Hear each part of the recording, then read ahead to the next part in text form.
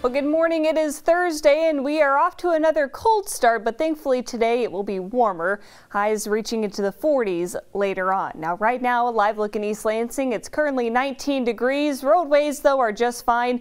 It's cold right now. We're even seeing wind chills in the single digits to the low teens. Those will actually improve as we go throughout the day. Again, highs in the 40s by later on. Satellite and radar this morning. We're starting off with clouds and maybe a few peeks of some sunshine once that sun rises close to around 8 o'clock this morning. We will notice an increase in cloud cover throughout most of the day, and that will be followed by some rain later tonight. That precedes a lot of active weather as we head into the weekend. So we'll break it down in your future track as we go hour by hour.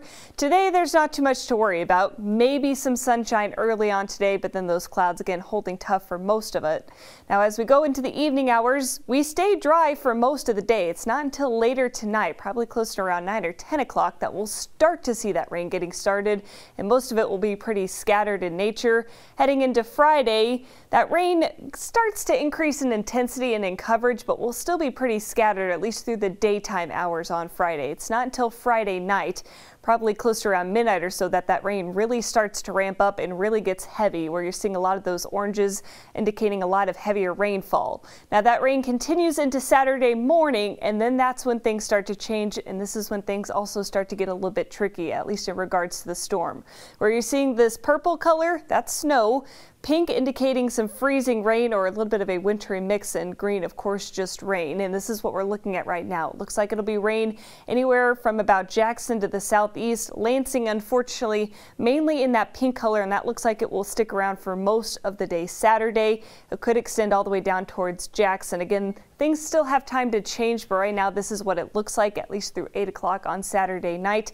Could see some messy travel conditions out there and the potential for some power outages if we get some ice to accumulate out there on those power lines and those roadways.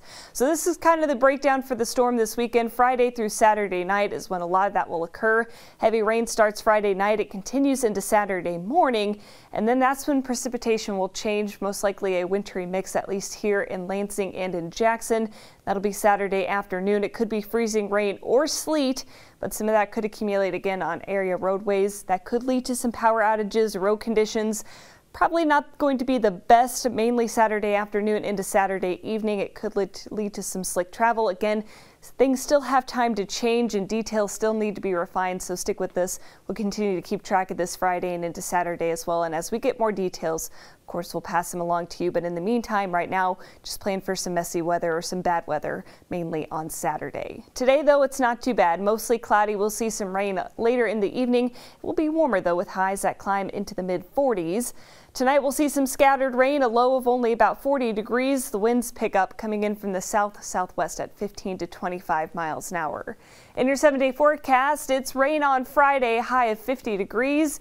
We'll see that wintry mix on Saturday. Again, that's the day to watch, so just be prepared. And again, we'll keep you updated as we get closer. Sunday is dry, partly cloudy, a high of 30. And then early next week, it looks like we'll be kind of back and forth, upper 30s to low 40s with mostly cloudy skies. So this weekend, you know, not looking great it's right now. Not, yeah. If you're wanting to, you know, go to the grocery store, Friday's probably the better option because okay. even Sunday morning roads will probably still be a little bit dicey. Kind of dicey. So yeah, get things done today, tomorrow, and then yeah, just plan for the weekend. And again, we'll have updates as we get a little bit closer. All right. Thank you.